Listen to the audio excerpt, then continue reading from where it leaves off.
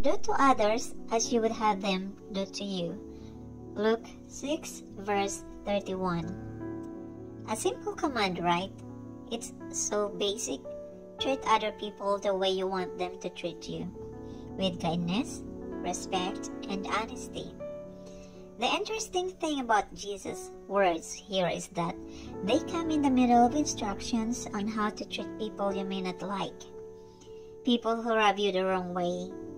People who perhaps just aren't nice. People with whom niceness is difficult.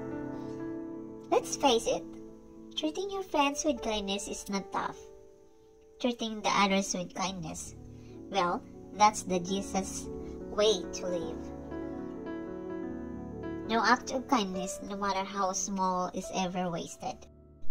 Do to others as you would have them do to you. Luke 6, verse 31. A simple command, right? It's so basic. Treat other people the way you want them to treat you with kindness, respect, and honesty. The interesting thing about Jesus' words here is that they come in the middle of instructions on how to treat people you may not like. People who rub you the wrong way. People who perhaps just aren't nice.